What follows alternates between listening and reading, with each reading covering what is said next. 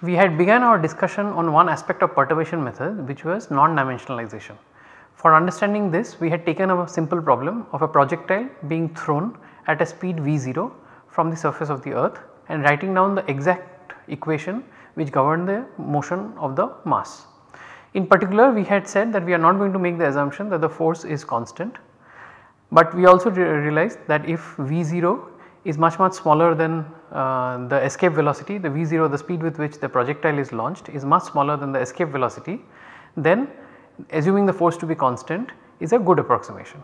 Now with that in mind we had written down the equation the, the complete equation of motion and then we had chosen appropriate scales for non-dimensionalization. This in turn introduced a small parameter indicated by the red arrow epsilon.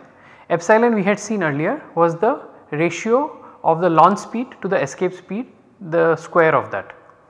Now we have this intuition that if the launch speed is much much smaller than the escape speed then the square of that is going to be a very small number compared to 1 and so as a first approximation it is it is justified to uh, assume that the acceleration is just a constant. Now in order to solve this problem perturbatively we had assumed an expansion in x naught uh, in the non, in a non-dimensionalized variable x which represented the vertical displacement of the mass at any instant of time and then we expanded it in a power series in epsilon. We then took the initial conditions and then we wrote them at every order. We found that the effect of initial conditions is only felt at the lowest order. All the other initial conditions essentially go to 0. Now our task is to solve this equation by equating the left hand side to the right hand side. So we have already simplified the right hand side, there should be a square here. So on the left hand side we have seen the left hand side is very simple that is our left hand side plus dot dot dot is equal to this right hand side which we have written here. So let us write this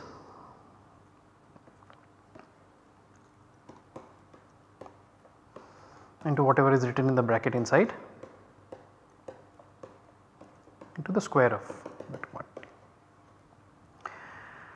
So now let us like before let us equate let us collect terms at every order. So at order 1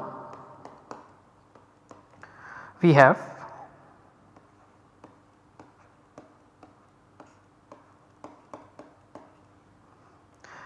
is equal to you can see from this expression that the only quantity on the right hand side which is of order 1 is just minus 1 everything else has a coefficient which is epsilon dependent.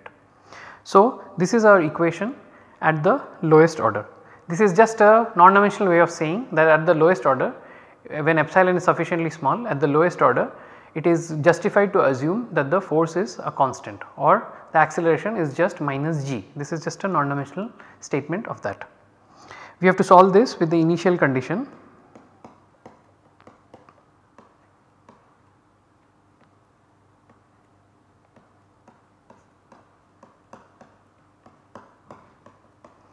is 0. Now you can see this equation is readily integrable. So you can just integrate it and if you integrate it you have to integrate it twice. So I am going to follow a pattern here. So, so if you integrate it twice you will find two constants of integration. So I will follow a pattern in writing down the constants. So because this is the zeroth order constant so, the constants will be of so let me write down the expression and then I will explain.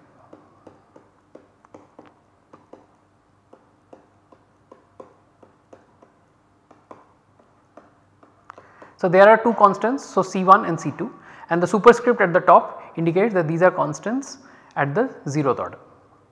So, now if you replace uh, this you will basically find that C1 0 is 1 and C2 0 is 0. So, this leads us to the 0th order solution that x0 tilde of t is equal to just t tilde minus t tilde square by 2. That is a simple uh, conclusion. Alright, so now let us go to the next order. At the next order we have to take into account order epsilon terms. So, at the next order the left hand side is simple. If I look at the right hand side then you can see that the right hand side we are looking for terms which have epsilon to the power 1 and you can see that the only term which will have epsilon to the power 1 is this term the product of 2 into epsilon into x naught. So, I am not writing the epsilon so it is just 2 into x naught tilde. You will see a pattern here that the left hand side remains the same at every order it is just at order epsilon you will have d square by dt square of x1 at order epsilon square you will have d square by dt square of x2 and so on and it is the right hand side which becomes more and more complicated. Pay attention to the fact that at every order we are solving a linear equation uh, still solving a linear but a inhomogeneous equation because of the 2 x naught term. So, let us write it we know what is x naught tilde. So, this is just 2 t tilde minus t tilde square x naught tilde we had written it earlier. This again is very easily integrated uh, with the initial condition x1 tilde of 0 is 0 and uh, dx1 tilde of dt tilde of 0 is again 0. We have derived these initial conditions earlier. So, we are now using this. We have already used this at the lowest order. Now we are going to the next order which is order epsilon and we are now using this. At the next order we will be using that. And these are all simple initial conditions. Everything is 0. Alright so now again this is easy to integrate. And if you integrate this in general you can show that this can be written as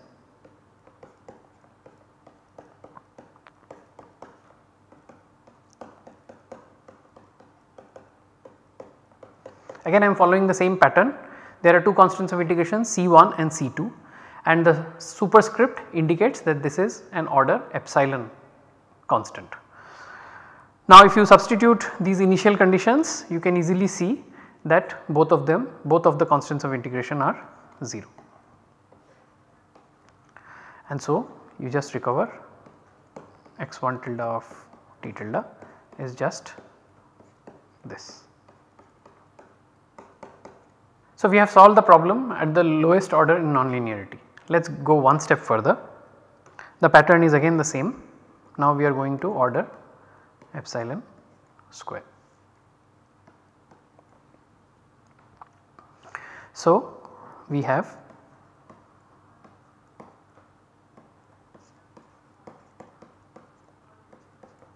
so we have to look at this term. So, we are looking at order epsilon square. So, you can see that at order epsilon square you will have a correction appearing from here. So,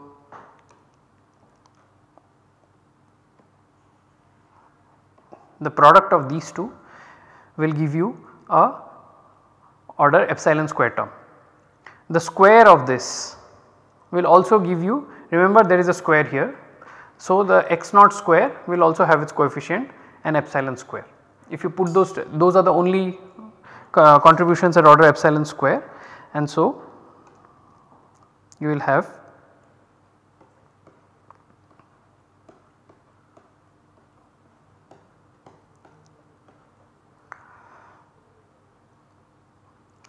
and we already know x naught and x1 tilde. So, we can substitute and if you substitute this then this just becomes after simplification. I am just going to write down straight away the expressions. So, this is nonlinear effect at order epsilon square. And so you can simplify the right hand side a little bit more. Uh, if you do that and then if you carry on the integration you will find like before you have to carry on the integration. This integration is very easy to do. And once again you will have to substitute the initial conditions. X2 of 0 is equal to 0 dx2 by dt of 0 is equal to 0. Now if you substitute if you do carry out this integration this, uh, the right hand side can be easily integrated. If you carry out this integration and then use the initial conditions to determine uh, x2 as a function of t tilde it looks like this.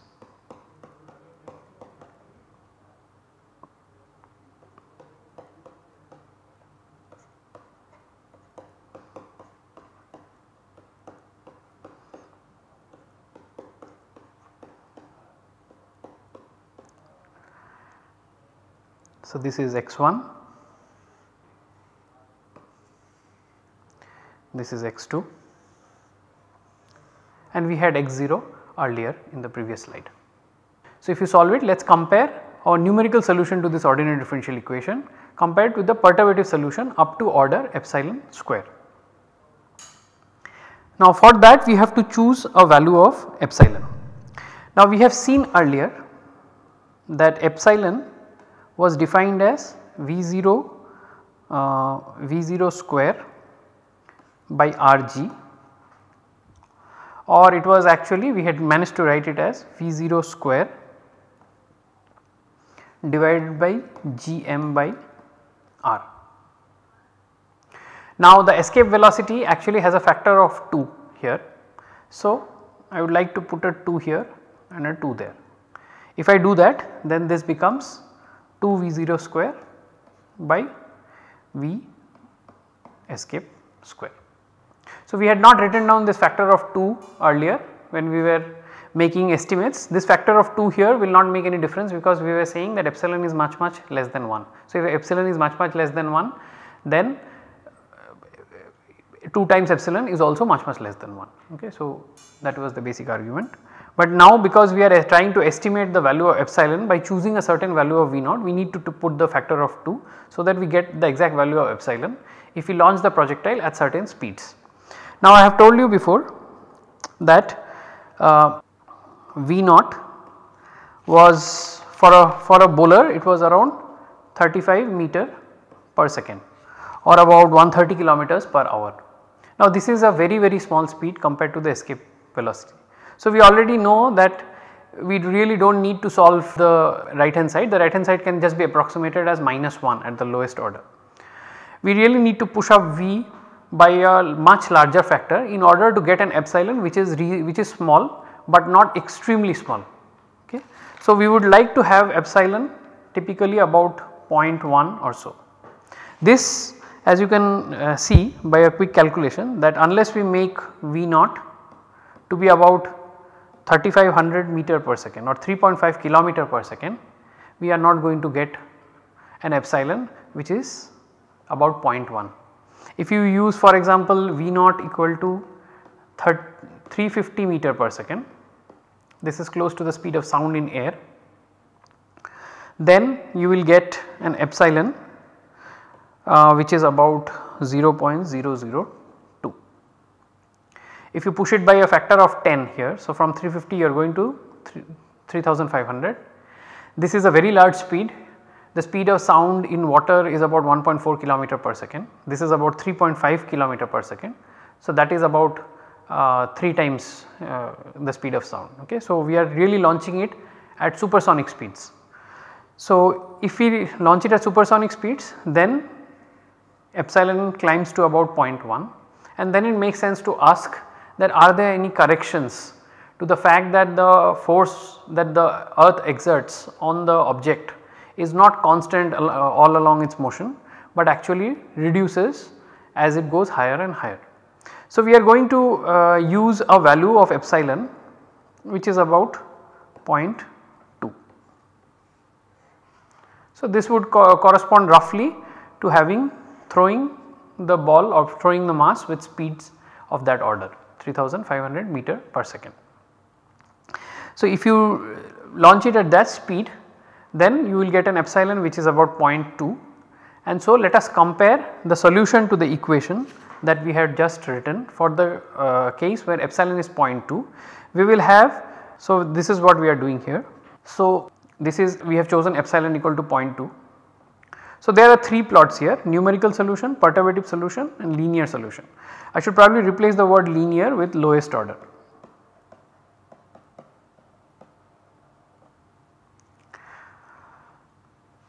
Okay, so this is the lowest order solution. So, the linear the numerical solution basically takes the full problem and solves it numerically. Okay. So, you can see that the yellow curve here is the numerical solution. Uh, the lowest order solution is in red. It is just the solution for x naught of t tilde and the perturbative solution is this whole thing x of t tilde is equal to x naught plus some epsilon into x1 plus epsilon square into x2. I have already written these expressions. You can clearly see that during the climb part of the journey when it, the mass is going up and up and up almost up to here the 3 solutions are indistinguishable. However, the maximum height reached by the uh, by the exact solution is quite more is, is, is substantially more than the so this is the maximum height reached and this is the maximum height reached. You can also see that the numerical solution and the perturbative solution are lying on top of each other. So, at this value of epsilon the perturbative solution is doing much better than the lowest order solution. The perturbative solution actually has a term which is linear in epsilon and then a quadratic term. So, you can plot these things and you can play with this by switching off various terms and seeing that how good or bad is the approximation. So, you can see that even if you did not know how to solve this equation uh, exactly, the perturbative solution actually gives you a way to uh, evaluate answers which are quite accurate.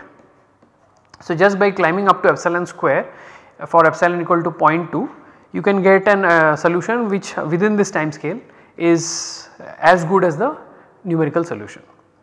You can also see that this is going to make an error in if you want to evaluate the total time of flight it is going to make a large error because uh, it the, the linear solution predicts that at non-dimensional time t tilde equal to 2 it is it has come back to where uh, on the on the surface of earth okay whereas the nonlinear solution is still up in the air.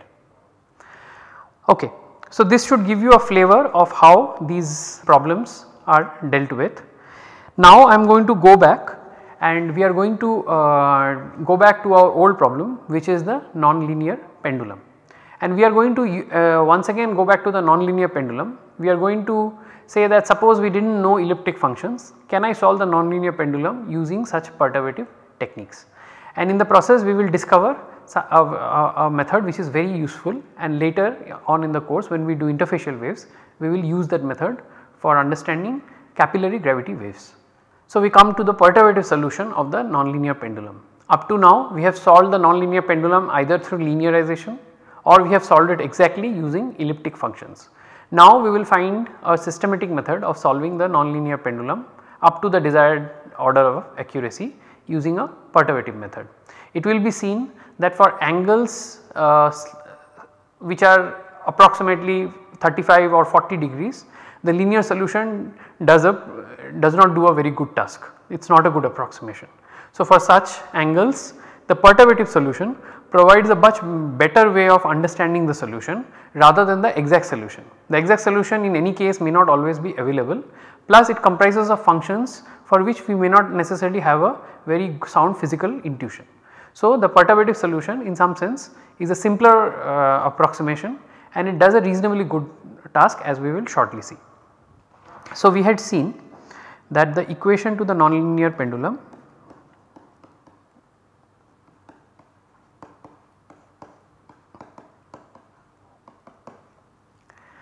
Now because we have used epsilon as a small parameter, so here the small parameter is the initial angle with which I am leaving the pendulum. We have used theta naught but because in our introduction to perturbation methods we have always used epsilon as a small parameter, I am going to call my initial angle as epsilon. So epsilon is just theta naught. We have also seen these are the initial conditions for which we have been solving all along and we have seen that if we non-dimensionalize this so some theta tilde. And uh, the time scale is just the linear time period. Or it is proportional. We are neglecting the factor of 2 pi.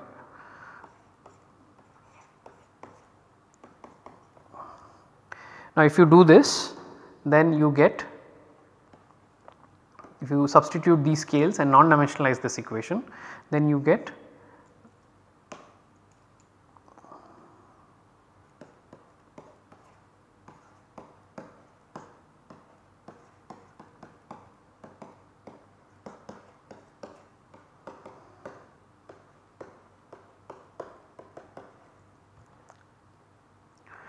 and now I can cancel out the g by L and write this as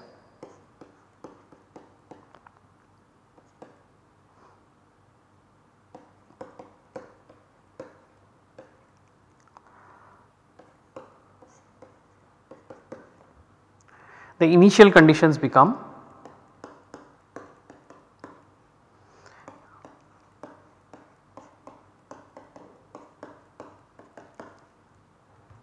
So, now I have to solve this set in a perturbative manner. Because epsilon is a small quantity it makes sense to expand sin epsilon theta tilde in terms of epsilon. Note that like before we are assuming that after non dimensionalization all our variables are of the order 1. So, for example this d square the first term in the equation d square theta tilde by d t, t tilde square is an order 1 term and we will soon see what is the size of the second term.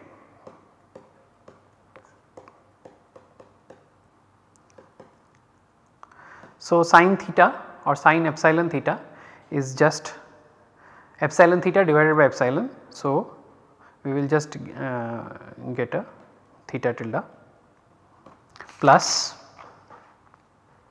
rather minus it is minus and then we will have epsilon cube theta tilde cube divided by factorial 3 which is 6. So, if I divide that epsilon cube by the epsilon in the denominator I get an epsilon square. Then we have theta tilde cube and then 6 and then we will have next uh, epsilon to the power 4 theta tilde to the power 4 and there, there is a factorial 5 I think which gives you 120 and so on. So, you can see that this whole term which I have put in square brackets is an order 1 term provided theta tilde is of the order 1. So, this is equal to 0 and we have to solve this in a perturbative manner subject to initial conditions. So, once again you can see that I can write this equation as, as all order 1 terms minus epsilon square by 6 theta tilde cube. Let me just stop here. These are higher order terms is equal to 0. You can see that the linear pendulum which is represented by the first term is perturbed by a term which is order epsilon square. So, the unperturbed problem which in this case is the linear pendulum is perturbed by a quantity which is order epsilon square. So, when I when I write down an expression for, um, for theta tilde as an expansion in powers of epsilon, I should start with epsilon square and not epsilon. We have theta tilde is equal to theta tilde cube t plus epsilon square t plus epsilon 4 2 we are not really going to use the third term and plus there will be dot dot dot. If we do the same expansion now if we substitute back into the differential equation and the initial conditions we are going to get quantities at various orders. What happens to the initial conditions? Like the previous problem anything which is non-zero in the initial condition gets collected at the lowest order. So, you can immediately see that the initial condition on theta 0 is this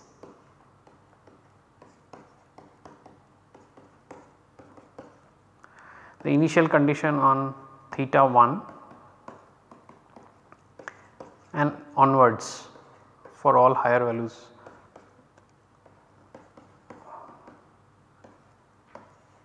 and so on.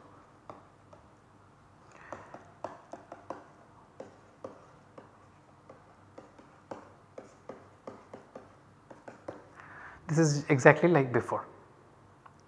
Now if we plug in this initial condition uh, this expansion into our series uh, into our differential equation, our differential equation was of the form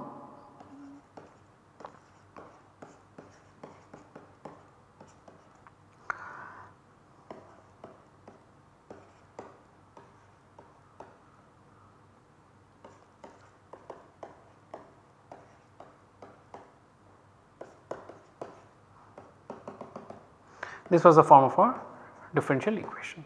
So, we have to plug in this into this and you can immediately see that I can collect the order one term. The order one term is d square theta tilde 0 by d tilde square plus theta tilde 0 is equal to 0 and we have to solve this with that initial condition.